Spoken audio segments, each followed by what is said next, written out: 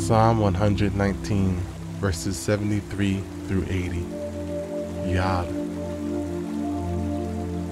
Your hands have made me and fashioned me. Give me understanding, that I may learn your commandments. Those who fear you will be glad when they see me, because I have hoped in your word. I know, O Lord, that your judgments are right, and that in faithfulness you have afflicted me.